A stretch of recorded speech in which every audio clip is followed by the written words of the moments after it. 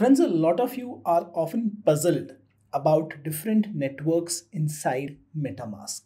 So when I go to MetaMask, by default, you would see on the top over here, I'm on the Ethereum mainnet, which means any token I own over here down below would be on the Ethereum blockchain. But Ethereum blockchain could be expensive and cost you a lot of gas fees. And that's why a lot of you want to transact on Polygon.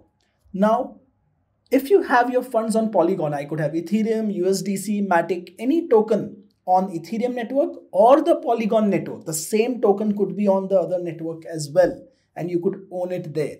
So, how do you see your balances across the Polygon ecosystem over here? You do that by adding Polygon network to your MetaMask. Now, I'll show you two easy ways of doing that. First, if you just click Ethereum mainnet over here and say add network, you would see manually you could enter the network name, RPC URL, chain ID, and a lot of other details to add that chain.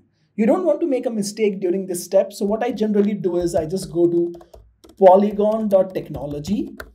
And when I go over here on the dApps section on this official Polygon website, you see add Polygon POS network to MetaMask. You see a simple button over here. You click that and this would pre-populate the details for you. Again, MetaMask will not really see if this is correct or not. You import it, you say approve, and it would be added over here. So you need to be sure that the details are right. So this is one easy way of doing it. Another way of doing this is right within MetaMask now. You have an option to see a few chains by default. How do you do that? Next to the Ethereum mainnet, you see this account button. You click that and you go to settings. Within settings, we go to experimental. We scroll down and we choose show custom network list option. We click on over here. What this does is it enables an experimental feature within MetaMask, which lets you add network within MetaMask the most popular networks like Arbitrum, Avalanche, BNB chain, which is the Binance Smart Chain, and Polygon itself over here, it gives you options to add this with one click within MetaMask without leaving um, this app. So I just go to Polygon mainnet and click add. It again shows me the details that are being added. I can approve it and this network has been added. If I want to go to this network, I click the Ethereum main, mainnet and select Polygon mainnet as my option. So I have now switched the network and you see my Matic balance was actually sitting over here and I was looking for it in Ethereum mainnet or on the Ethereum blockchain. So you can have multiple networks like this of different blockchains over here within MetaMask. But hey, remember, MetaMask supports EVM chains, which means chains or blockchains which run on Ethereum virtual machine. So something like Solana or Cosmos ecosystem will not show up over here.